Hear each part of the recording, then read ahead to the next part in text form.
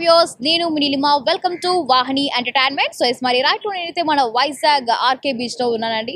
So ఇక మరి ప్రస్తుతం ఉన్న గవర్నమెంట్ పై మీ యొక్క ఒపీనియన్ ఏంటి? ఇక మినిస్టర్ రోజా గారు ఎవరికైనా తన సొంత డబ్బుతో సహాయం చేశారా? లైక్ పవన్ కళ్యాణ్ గారు లాగా? ఇక మినిస్టర్ రోజా గారు ఈ మధ్య కాలంలో చూసినట్లయితే అటు చిరంజీవి గారిని ఇట పవన్ కళ్యాణ్ గారిని విమర్శిస్తూనే ఉన్నారు. మరి దీని మీద మీరేం చెప్పాలనుకుంటున్నారు? ఇక పేదలకు ఏదైతే పెన్షన్ ఇస్తున్నదో మన గవర్నమెంట్ కొంతమందికి కట్ చేయడం జరుగుతున్నది. మరి వీటి మీద మీకున్న ఒపీనియన్ ఏంటి? మరి వీటి గురించి పబ్లిక్ ఒపీనియన్ తెలుసుకుందాం. So let's follow us hello మీ పేరు? యశ్వంత్ కుమార్. నితిన్. ఉపేంద్ర. సో ప్రస్తుతం ఉన్న గవర్నమెంట్ పరిపాలన మీకు ఎలా నచ్చిందా? పర్లేదు? యావరేజ్. నచ్చలేదు. నెక్స్ట్ ఎలక్షన్స్లో ఎవరు వస్తే బెటర్? పవన్ కళ్యాణ్. ఎవరైనా ఓకేనా? చంద్రబాబు నాయుడు. ఎందుకు చంద్రబాబు నాయుడు గారు? చంద్ర మ్యాక్సిమం అతను వస్తారు అనుకుంటున్నాను ఎవరు వచ్చినా పర్లేదు నాకు ఎవరైనా పర్లేదు. మళ్ళీ జగన్మోహన్ రెడ్డి గారు వస్తే ఓకేనా? నాకు సంబంధం లేదు అక్క అవి పాలిటిక్స్తో నాకు? పవన్ కళ్యాణ్.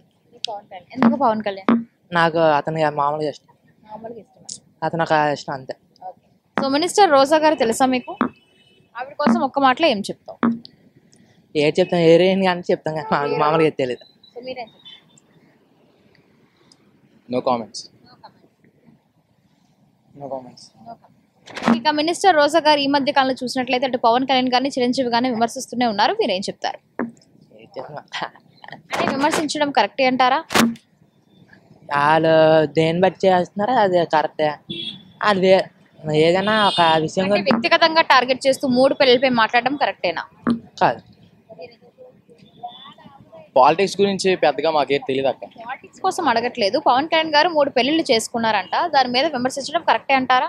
అది ఆయన ఇష్టం అది. మూడు పిల్లలు చేసుకుంటారు కాబట్టి అతని ఇష్టం అది. మనమే చేయలేం. మూడు పెళ్ళి చేసుకున్నదే అతని పర్సనల్ ఇష్యూ అది. మనకు సంబంధం లేదు. ఆవిడకి క్వశ్చన్ చేయడానికి రాంగ్ అది. నాగబాబు గారు రోజాని అది నోరా లేకపోతే డ్రైనేజ్ అన్న కమెంట్ పాస్ చేయడం జరిగింది. అది కరెక్టేనా? అది వాళ్ళు అన్న మరి వాళ్ళ మీద అన్నారు కాబట్టి వాళ్ళు అంటారు కదా. అందుకే అది కరెక్ట్ అంటే అది వాళ్ళ ఇష్టం అంటే అది నోరు అనుకుంటే నోరు డ్రైనేజ్ అనుకుంటే డ్రైనేజ్ నాకు సంబంధం అభిప్రాయం ఏంటి? నాకేంటి పర్లేదు అది. నాకు సంబంధం లేదు దాంతో నాకైతే కరెక్ట్ అనిపించింది. కరెక్టే. ఎవరి పర్సనల్ ఇష్యూలో ఇంకోటి తల దోర్చకూడదు. అది దోచడం వల్ల తిట్టడం కరెక్ట్ అనిపించింది. ఇక పేదలకు ఇవ్వాల్సిన పెన్షన్ని కట్ చేస్తున్నది మన గవర్నమెంట్. కరెక్టేనా? రాంగ్.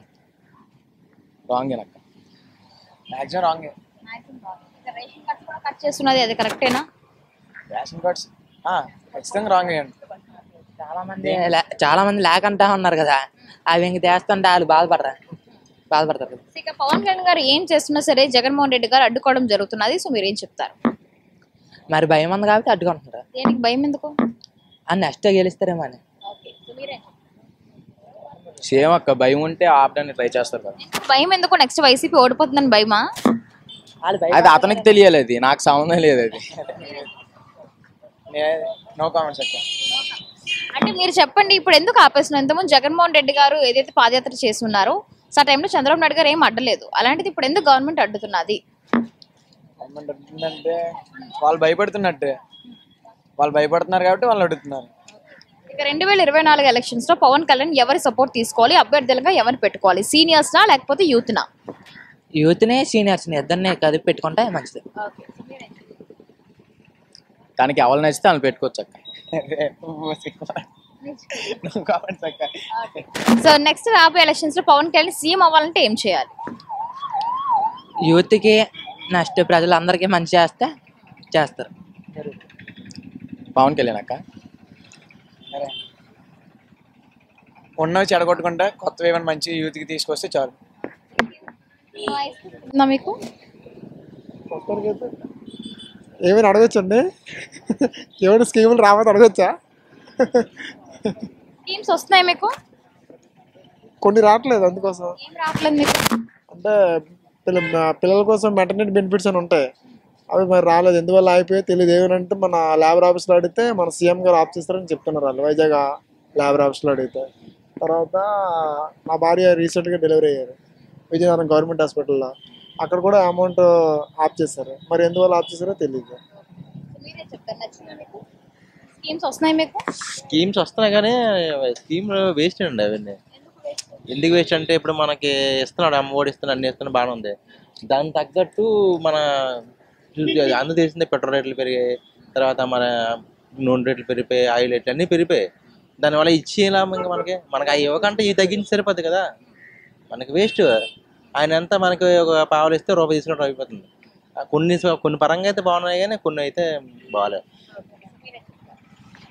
రేషన్ ఇంటింటికి ఇస్తారు వాలంటీర్ ఫస్ట్ అన్నారు. ఆ ఇంటింటికి ఇవ్వడం లేదు. మనం వ్యాన్ ఎప్పుడు వస్తే అప్పుడే తీసుకోవాల్సి వస్తుంది. రేషన్ డిపో అయితే ఇంతకు ముందు ఇంటి పక్కన ఉండేది మనకు నచ్చినప్పుడు తీసుకోవాలి అప్పుడు వచ్చిన టైంకి తీసుకోవాలంటే మనం డ్యూటీలకి వెళ్తే వాటిని చేయడం బాగుంది కదా. అదైతే కరెక్ట్ కాదని వేస్ట్ అని అనిపిస్తుంది మినిస్టర్ రోజా గారి కోసం ఒక్క మాటలో ఏం చెప్తారు? ఆ, రోజా గారు మనకు పెద్దగా ఏం తెలియదు కాబట్టి ఆవిడ కొంచెం వాయిస్ మామూలు మాట్లాడితే బాగుంటుంది. పవన్ కళ్యాణ్ గురించి మాట్లాడకూడదు. పవన్ కళ్యాణ్ మీద విమర్శలు చేస్తున్నారు రోజా గారు. కరెక్టే అంటారా? కరెక్ట్ కాదే అంటాను తప్పు. ఎవరి గురించి ఎవరు కూడా? తప్పు చేసినప్పుడు ఎవరి గురించి ఎవరైనా విమర్శించవచ్చు. తప్పు చేయనప్పుడు రోజా గారి గురించి పవన్ కళ్యాణ్ విమర్శిస్తానరా? లేదుగా? పవన్ కళ్యాణ్ ఏం చేశారని విమర్శిస్తున్నారు. ఆయన మూడు పెళ్ళి చేసిన విమర్శిస్తాడు ఒకటే విమర్శిస్తాం. మూడు పెళ్ళి అంటే అనుకోకుండా మొత్తం అందరూ తెలుసు. ఆంధ్రప్రదేశ్ తెలిసి మొత్తం చాలా రాష్ట్రాలు తెలుసు. అతమానం పదే పదే ఎవరు అనకూడదు. పెళ్ళిళ్ళు చేసుకున్నారు. కాదని లేదు మూడు పెళ్ళిళ్ళు చేసుకోవడం వల్ల ఆవిడకి ఏమైనా అన్యాయాలు జరిగాయా? అవతల వ్యక్తులకి. అన్యాయం చేశారు అనుకోండి దానికి మనం ఏం చేసుకోవచ్చు? వాళ్ళిద్దరు ఇష్టపడే విడిపోయారు కష్టంగా తను వదిలేదు కదా తను. ఇష్టపడి విడిపోయారు కాబట్టి దాని గురించి ఆయన చెప్పిందే కరెక్ట్. మరి మూడు పెళ్ళి చేసుకుందంటే ఇష్టపడి ఇచ్చారు వాళ్ళు విడిపోయారు వాళ్ళు కరెక్ట్ పవన్ కళ్యాణ్ చేసింది రాంగ్ ఏం కాదని అనుకుంటున్నాను నెక్స్ట్ ఎలక్షన్స్లో ఎవరు వస్తే బెటర్ నెక్స్ట్ ఎలక్షన్ అయితే చంద్రబాబు నాయుడు. పవన్ కళ్యాణ్ ఎవరు వచ్చినా పర్లేదు. పవన్ కళ్యాణ్ వస్తే పవన్ కళ్యాణ్ వస్తే అంటే ఇప్పుడు పవన్ కళ్యాణ్ సారీ చంద్రబాబు నాయుడు మనకు అందరికీ తెలిసిన సీఎంఏ జగన్కి ఒక అవకాశం ఇస్తే బెటర్ అనేసి ఏం చేస్తాడా అనేసి అనుకున్నాం ఈయనకు కూడా అవకాశం ఇవ్వాలి. ఈయన ఏం చేస్తాడో కూడా చూడాలి కదా పవన్ కళ్యాణ్. ఆయన ట్రీట్మెంట్ కూడా చూసిన తర్వాత నెక్స్ట్ అప్పుడు ఫైనల్గా అతను ఎవరిలో ఒకరు తెచ్చుకోవడం అంటే మీరు చెప్పండి పవన్ కళ్యాణ్ గారు తన సొంత డబ్బుతో బయట వారికి హెల్ప్ చేస్తున్నారు అంటారు కరెక్టే అంటారా? నిజమే అంటారా? అది మీకు కూడా తెలుసు కదా మేడం మీకు తెలియదా ఇక మినిస్టర్ రోజా గారు తన సొంత డబ్బుతోటి ఖర్చు పెట్టారా? ఎవరు? మళ్ళీ అడగండి. ఆ, మినిస్టర్ రోజా గారు. ఎవరు ఆ సంగతి మనకు తెలియదు ఎక్కడ వెళ్ళలేదు మనకు తెలియదు కాబట్టి మనం మాట్లాడకూడదు దాని గురించి. పవన్ కళ్యాణ్ పవన్ కళ్యాణ్ గారు ఖర్చు పెట్టిన అందరికీ తెలుసు. చాలా మీడియాలో చూసాం. నెక్స్ట్ చాలా ప్రోగ్రాంలో చూసాం దాని గురించి ఆయన గురించి. చాలా మంది కౌలు రైతులకి ఒక మూడు వందల కోట్లు ఐదు వందల కోట్లు ఖర్చు పెట్టి సొంత డబ్బులు చేశారు. అన్నీ కరెక్ట్గా ఆయన చేసిన పనులు కరెక్ట్ అని మాకు ఇక నాగబాబు గారు అన్నారు అది నోరా నోరా లేకపోతే డ్రైనేజ్ అని రోజా గారిని. సో మీరేం చెప్తారు? కమెంట్ కరెక్టేనా ఎవరన్నారు? నాగబాబు గారు ఆయన కొంచెం నోరు తీసారు కానీ ఆయన పాలు పడిచేస్తారు పవన్ కళ్యాణ్ గారు అయితే పెద్దగా స్పందించరు పెద్దగా పెద్ద పెద్ద మాట్లాడరు. ఆయన మరీ ఇబ్బంది పెడితేనే ఆయన ఇబ్బంది పడతారు. రోజు గారు మంచి వ్యక్తి పర్లేదు ఆవిడ అక్కడే బాగా చేసుకున్నారు మన దగ్గర కానీ కొంచెం మాటలు పవన్ కళ్యాణ్ మీద మాటేసరిపోతే బాగుంటుందేమో అనిపిస్తుంది. అంటే madam same feeling same feeling ఇంకా ఏపీ డెవలప్ అవ్వాలంటే గవర్నమెంట్ ఏం చేయాలి? ముందు ఈ పథకాలు కొన్ని పథకాలు ఆపేసి మనకి ఇవే ఈ పెట్రోల్ రేట్ అనగా మనకు వచ్చిన నిత్య సరుకులు తగ్గించుకుని చేస్తే బాగుంటది. ఇందులో చాలా మంది మధ్య మధ్యతరగతి కుటుంబంలో ఉంటారు. వాడికి రేట్లు పెరిగిపోతుంటే వాడు ఎక్కడి నుంచి తెచ్చుకొని కొనుక్కుంటాడు. అవి నెల సంవత్సరానికి ఎప్పుడో పన్నెండు వేలు లేకపోతే ఇదే సంథింగ్ పదిహేను వేలు వేస్తాడు. అది సంవత్సరం అంతా మనం వాడు ఉంచుకోలేదు చేసుకోలేరు కదా. మనం నిత్య తగ్గించుకుంటే ఆటోమేటిక్గా మనం డెవలప్ అవుతుంది. ఇంకా మంచి మంచి కంపెనీలు పెట్టుకొని చేసుకొని మంచి మంచి కుర్రోళ్ళకి ఉద్యోగులు ఇచ్చుకొని చాలా మంది నిరుద్యోగులు అందరూ కొంచెం ఉద్యోగులు ఇచ్చుకుంటే బాగుంటది. జగన్ గారు. ఇప్పుడు వేట పడేది ఎక్కడ మేడం? ఉద్యోగస్తుల మీద వేట పడేదా? లేకపోతే లేబర్ మీద వేట పడేదా? ఎవరి మీద వేట పడుతుంది? అదొకటి తెలుసుకోవాలి కదా. ఇస్తున్నారు కాదని లేదు అది అందరికీ అందట్లేదు. మళ్ళీ వరము కొందరికే అందుతుంది. ఆ కొందరే మాట్లాడుతున్నారు. పర్లేదు బెటర్గా బాగానే ఉందని. అంటే ఇస్తున్నది యాభై మందికి అయితే రాలేనందుకు నూట యాభై మంది ఉన్నారు.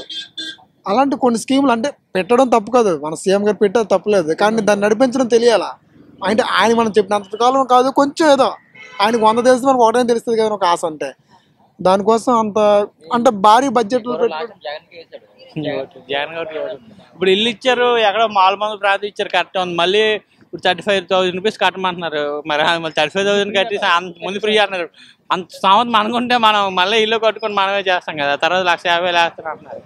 అది కరెక్ట్ కాదు. ఎక్కడో మారువల్ ప్రాంతం ఇచ్చారు పని ఎక్కడో చేద్దాం డెవలప్మెంట్ చేద్దాం మన డబ్బు పెట్టుకుందాం ముప్పై ఐదు వేలు కట్టమంటున్నారు. ఇప్పుడు గవర్నమెంట్ నెక్స్ట్ గవర్నమెంట్ మళ్ళీ మా వన్ ఇయర్ గవర్నమెంట్ మారిపోతే ఆయన మారిపోతే ఇంకొక యాభై వేలు కట్టమంటారు గడిగడికి డబ్బు మనకి వేస్తే కదా.